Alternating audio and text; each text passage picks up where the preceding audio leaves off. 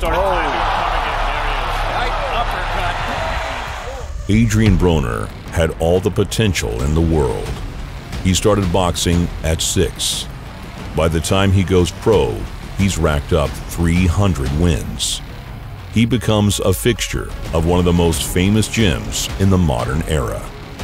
He became the protege of Floyd Mayweather, who taught Broner to be boxing's next billion dollar heel. He was sold as the next big thing out of the money team. Listen, man, they call me the problem, but you could call me the can man, because anybody can get it. Africans, Americans, Dominicans, Mexicans, anybody can get it. He was also one of the most wildly irresponsible human beings to ever take up boxing. We only gonna be up here for two days. we gonna take this and we gonna have a lot of fun. I don't care what a critic gotta say, I got them picking up the pieces. That me you really playing with your life, I'm about to come and run it all back. I'm the new era, about to snap back. You ain't fitting for it cause you all cap. AB, you know, always in big shit. His nickname, The Problem, was an accurate assessment. While it's hard to begrudge a kid from poverty the urge to show off his hard earned wealth, Broner's arrogance went far deeper than gaudy materialism. His life outside the ring had the chaotic energy of a bag full of money at the strip club. The bad shit makes the flight tomorrow and I'm gonna go ham and cheese. And I ain't talking about a breakfast sandwich, but uh, we, we eating those, push up. But between the ropes, he was one of boxing's most put together counterpunchers. A good, a good left hook. Way. Rees is a cocky little Welsh. No pressure, we heard him. Mouthpiece got good uppercut, Litzau's down! And it's over in round one! You know, I, it's different levels, man.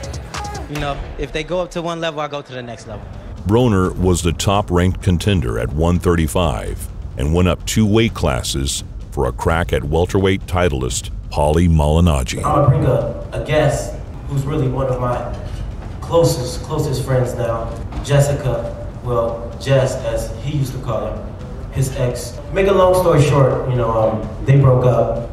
Probably wasn't hitting it off hard enough. and now she's with a heavy hitter. past week, Malignaggi has had difficulty win over Senchenko. Malignaggi was known for his quick hands and consistent jab, but he was also a notorious feather fist. He was trying to see what Malignaggi had. Probably gave the first round. Broner was walking Paulie down behind the Philly shell defense. And then turn it into a different kind of a fight. In the second, he nails Paulie with the classical boxing combination of a kick to the groin to set up an uppercut. When Broner did decide to fight, he had the economic accuracy of his mentor.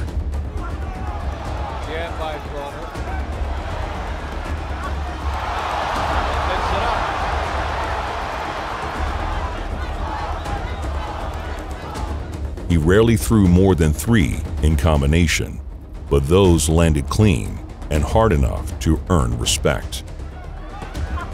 Oh, big right hand by Leaping. Lead, lead right hand. Not getting tired, comes to hustle his way into contention. While Paulie had moved and peppered, Broner threw almost exclusively power.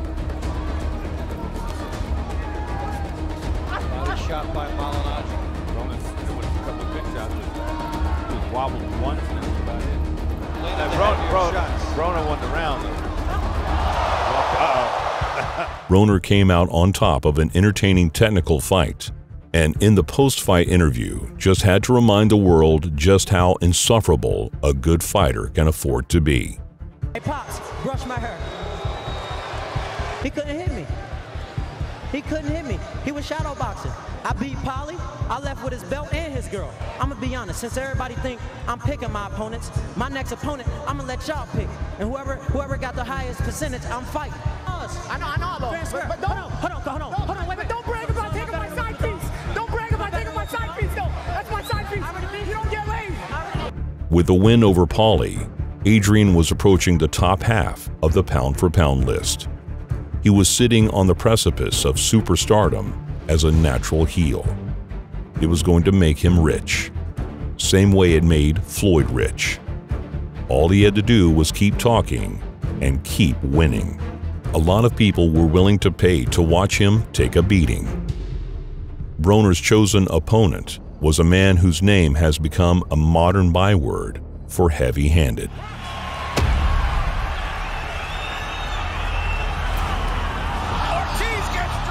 Marcos Maidana was in no uncertain terms a slugger. A solid overall fighter, capable of defense and technical trickery. But his offense was ugly, effective, violent power punching, part stylistic and part God-given. He threw his right hand like a pitcher out of the stretch. There was a windup and a telegraph, but his shots land like an axe in a tree trunk. Marcos could get in a slugfest with anything with a pulse. Erik Morales made a fine example. Morales was a legend, deep into his 30s, returned from retirement for one last run. Maidana was a massive favorite by virtue of the calendar. Listos, vámonos. Erik Morales is from arguably some of the toughest streets in the civilized Western world, in El Norte and Tijuana, but it is Maidana who expects to take Morales into the jungle tonight. And it starts with an uppercut that doesn't land. He came out in the first round, landed a hook that almost instantly broke Erik's eye. That right eye looks very bad. Looks almost as though he got bumped. Round one not over with yet. Already Erik Morales may be a one-eyed fighter. And the way Morales' eyes swelled up was striking. Yep, the tissues does not react the same way to getting hit as you age. He's just keeping the momentum. How long can Morales stand up against this pace? It took about five minutes before the swelling closed his eye completely. No way Morales survives against a young puncher like Maidana, half blind, for nine rounds. With the way he can punch, it only takes one or two from Maidana. Walked through it and came back. Now he has to walk through another one as Morales lands a good oh. right. This is not just today, tonight with Maidana, this is throughout Morales' comeback. Maidana bombs away at Erik, who wasn't going quietly into that good night.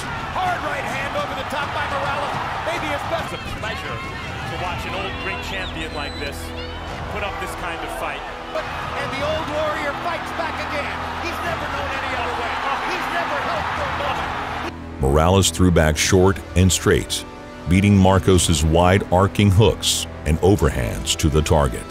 But it hasn't happened. Oh, Huge left hook. Maidana's holding on. at the moment, with the upper hand in a fight of the year candidate against Marcos Maidana. An amazing show. Erik's experience saw him through when his eye couldn't.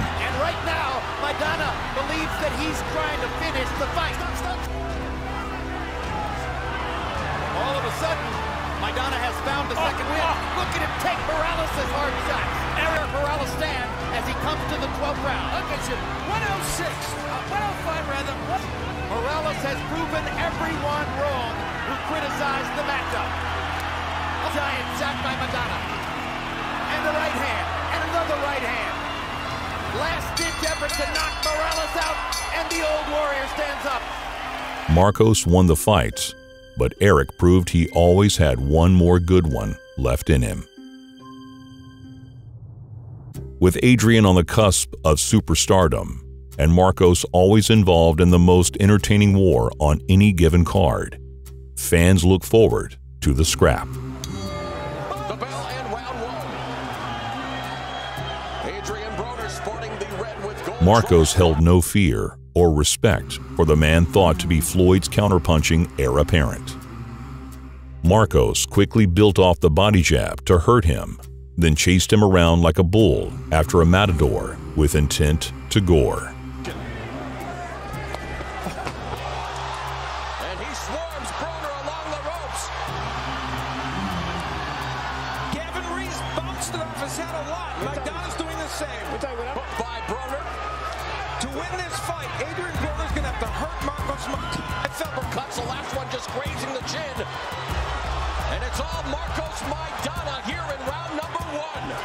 In a round where Broner barely landed a punch, he ends up behind Maidana after waltzing his way off the ropes. For some reason, Adrien decides to hump him. No need for that kind of stuff in the sweet science as we go rounds while Broner has recorded 11 of his 22 KOs in the first two. Marcos made him pay. He ducks down with a left hook, initially disguising its intended target by making it look like it's going to be to the body. Broner instinctively drops his hands and tries to fade away, but actually puts himself directly in its path when it comes at his neck.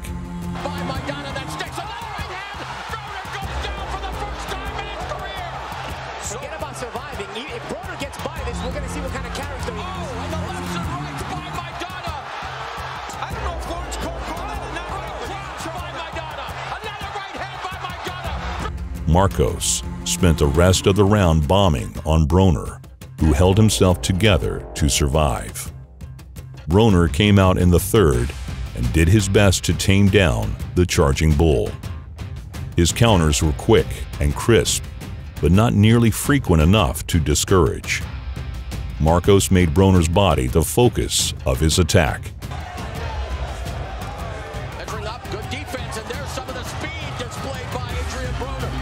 Just when Adrien's hands dropped, Marcos would try to check his chin, usually by doubling up with the same hand first to the body, then upstairs. Broner might have been an insufferable heel, but he was still among the best in boxing. He was versatile enough to try and force Maidana onto the back foot. Part of it was raw physicality of using the crossface and the clinches, or the body jab at long range. Right uppercut lands by Broner. Broner could only olay his way around the bull so many times before he found himself stuck between the horns again. Maidana's wide, wild style of punching presented a problem.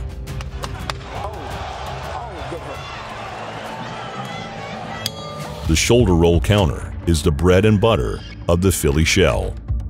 It also allows users to deflect incoming right hands with the lead shoulder, ideally timing it so the twist of the torso does two things at the same time. It knocks the right hand off its flight path, deflecting the punch past its intended target. It also loads all a fighter's weight into his right, which easily explodes back into a counter. This works as intended if your opponent is throwing the right reasonably straight. Because Marcos intentionally wings his overhands from such drastic angles, he's getting over the top of the shoulder. Which landed by the champion Adrien Broner. Now Maidana hitting Broner on the shoulders and the arms, and this is a very entertaining fight. The attack with his left was built off the body jab and hook. Hand upstairs.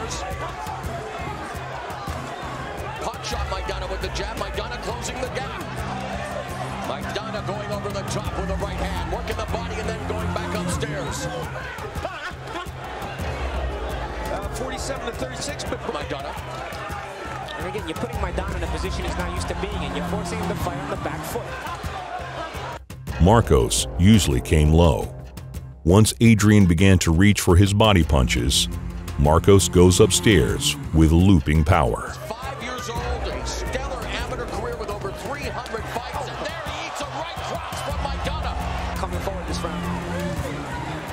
Because he's throwing his punches wide, it limits Broner's options for escape.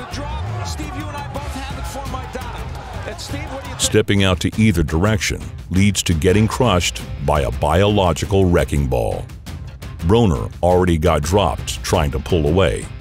One real option remains hold his ground or get beat trying.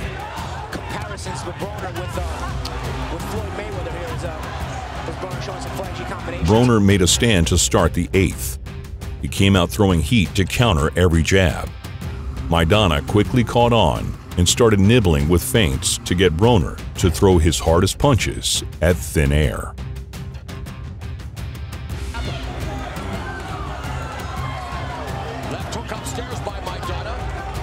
Broner keeps the pressure up, which makes him a target Marcos doesn't have to chase. Maidana times a step in to meet Broner with a brutal lead left hook. Marcos commits to a right to the body so thoroughly it shifts him into the southpaw stance. A sweeping overhand left drives Broner down.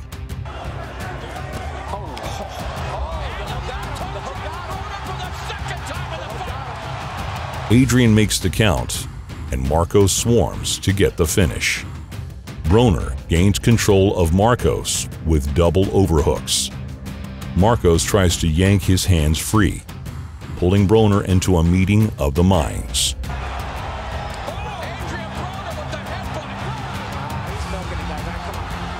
It was more of a slip-up than a headbutt, but Adrien sells it like he wants an Oscar. He needed time, and he got it. He also got a point taken from Marcos. As much as it's tradition to hate the game more than the player, Adrien's undignified display was especially cringeworthy.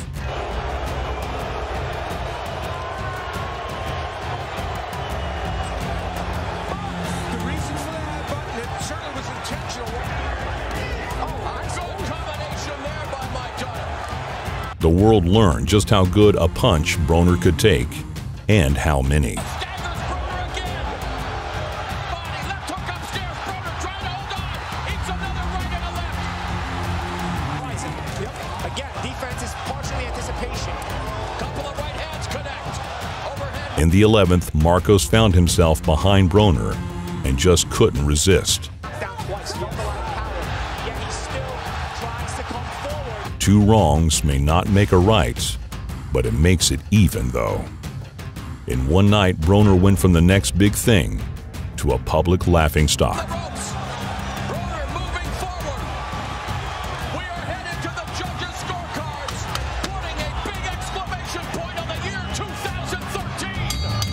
With a final bell, Marcos had officially pulled off the upset.